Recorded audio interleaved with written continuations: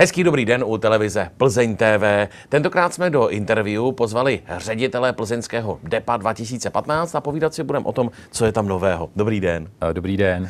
DEPO 2015 nebo 2015, jak vy říkáte, eh, to je kulturní prostor, kde jsou pořád nějaké výstavy. Tak co momentálně, co aktuálně tam najdeme?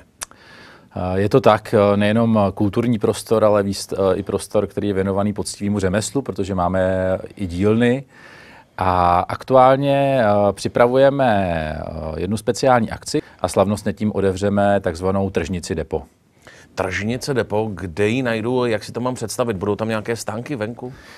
Eh, tržnice Depo je vlastně nový prostor, který jsme vybudovali v krásné industriální hale ze 30. let. Je hned vedle kavárny, kterou každý jednoduše najde, když přijde do Depa. A vlastně ta tržnice bude mít uh, takové dvě podoby. Jednak je ta stála, že pokaždé, když přijdu do depa od uh, úterý do soboty, tak si tam můžu nakoupit a potom se v ní budou dít zajímavé akce nakoupím farmářské výrobky, tak jak jsem zvyklý třeba z farmářských trhů? Uh, nakoupíte taky farmářské výrobky, je tam farmářský obchod, ale ta tržnice je hlavně kombinuje řemeslo, design a dobré potraviny, takže ta stálá nabídka, která, jak jsem říkal, je od úterý eh, do soboty, tak čítá design shop, eh, Venkovský dům plzeňského kraje, kde najdu řemeslné výrobky, marmelády, najdu tam farmářský obchod, najdu tam second hand, takže oblečení z druhé ruky, najdu tam kadeřnictví a najdu tam taky obchod s likéry a s kořením. Můžu si to představit tak, že když nevím, co koupit třeba k narozeninám nebo k svátku babičce, dědečkovi, mamince, tak tam zajdu a tam vždycky vlastně něco najdu. Je to tak, stavíte se pro dárek, eh, přitom se necháte ještě přičísnout, i když... Eh, Já zrovna ne. můžete se nechat přičísnout, přesně tak, a odcházíte, dáte si ještě kafe a když máte trošku víc času, tak zkouknete nějakou výstavu. Co tam třeba plánujete? Eh, ta tržnice, jak jsem říkal, má stálý provoz eh, od úterý do soboty, ale chceme, aby tam bylo živo, eh, proto každou poslední neděli v měsíci je připravena nějaká tematická akce. Například po Dožínkách to bude festival poslední sklizně, podzimní teda ne, poslední podzimní sklizně, chystáme dýňování, festival kávy, zimní festival mini pivovarů, velmi populárních a Můžou se přihlásit i různé spolky nebo nadšenci, takže i mimo tyhle ty termíny už máme uh, například uh, naplánovaný na 1. prosince Vánoční jarmark. Takže se tam můžou odehrávat i takový ty bleší trhy nebo tyhle ty prodeje všeho možného. Je to tak, vítáme jakoukoliv aktivitu, která pomůže tomu, že se lidi potkají a například třeba i výtěžek občas pomůže dobré věci. Tím můžu jmenovat, že máme připravený jeden charitativní bazárek už.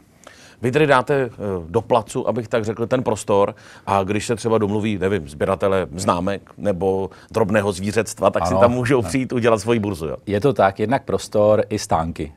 Mm-hmm, stánky jsou taky k dispozici, už jsou nějaký Přesně tak, pěkný. je tam asi 24 pěkných stánků. Eh, v nejbližší době, když budeme chtít ochutnat, tak už jsme si řekli, že v neděli tedy se bude ochutnávat eh, všechno možné zajímavé. A vy jste zmínil, že tam bude nastálo fungovat i nějaké bistro, takže se tam můžu zastavit na sváču?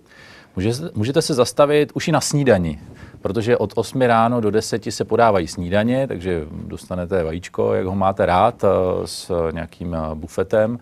A potom oběd a odpoledne je to o nějakém sneku, koláči, kafíčku a těchto těch věcech. Nejenom eh, z české, ale i ze zahraniční kuchyně. Takže půjdu-li na tuhle výstavu, nebo ty další, které budou navazovat, eh, mezi tím můžu projít přes tenhle ten prostor, přes tak. tržnici, dát si svačinu. To si myslím, že je určitě zajímavá nabídka. Eh, ten farmářský obchod tam bude taky dlouhodobě a ještě ten designový jsme řekli, že bude Přesně tak. dlouhodobě. No a kdybyste se cítil, že jste z formy, tak si můžete jít do Predator Gymu protáhnout i tělo. Eh, to je pravda. Já jsem tam nedávno, teda ne až tak já, ale můj syn tam šel jezdit na takový ty plastový autíčka a všiml jsem si, že tam funguje nějaká tělocvična a chodili tam lidi, kteří měli úplně jinak sformovanou váhu, než mám já.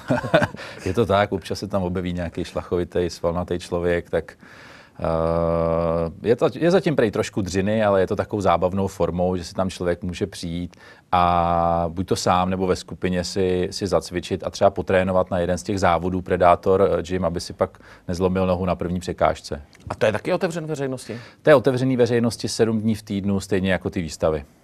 Vy jste tam v podstatě pořád teďko slyším. Uh, ano, rodina říká, že jsme tam pořád.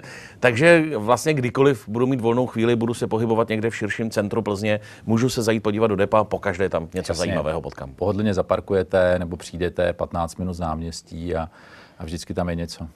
Eh, když půjdu z hokeje, ještě budete mít otevřeno? To je tak kolem 8 hodiny večer? Uh, to je tak na poslední pivo, no. Dobře, takže před hokejem se tam zastavím tak. a až půjdu z hokeje. Tak Nejsme vyloženě noční, noční podnik, kromě koncertů, když se tam konají samozřejmě. Budu držet palce, ať si k vám lidi najdou cestu a věřím, že i tržnice bude velikým lákadlem. Moc se těším, určitě se tam zajdu podívat a věřím, že i spousta Plzeňanů. Děkuji za návštěvu. Děkuji za pozvání. No a vám děkuji, že jste s námi byli u interview televize Plzeň TV a těším se na vás na viděnou zase u dalších pořadů.